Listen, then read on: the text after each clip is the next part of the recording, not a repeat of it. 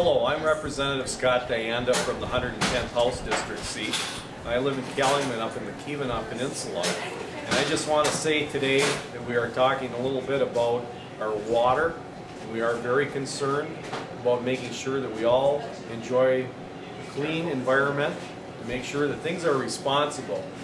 We talk about a lot of the environmental issues up here, and this is the one thing that's a common denominator for all of us, that it's the water that we drink.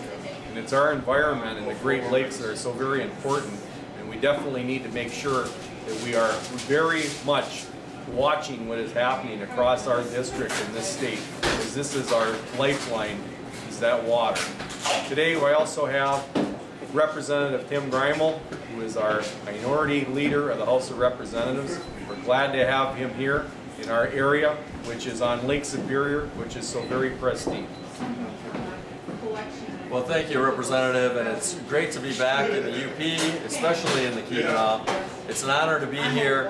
I want to let everyone know that Representative Dianda is doing a fantastic job for you down in Lansing already. He's only been there two months now. It's early March.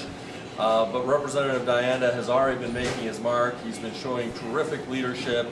He's very well respected on both sides of the aisle by Democrats and Republicans alike in the legislature, and he's fighting for what matters most to the UP. He's fighting for job creation, for economic development, but he's also fighting to make sure that it's done in a responsible way that respects the environment and protects the environment, especially our most valuable and important resource in the state of Michigan, which is the Great Lakes, as well as our inland waterways. And so Representative thank you for all your service and, and, thanks for fighting for the values that matter most to Michiganders. Thank you, Tim. Appreciate you coming up oh, here my pleasure. area. My pleasure.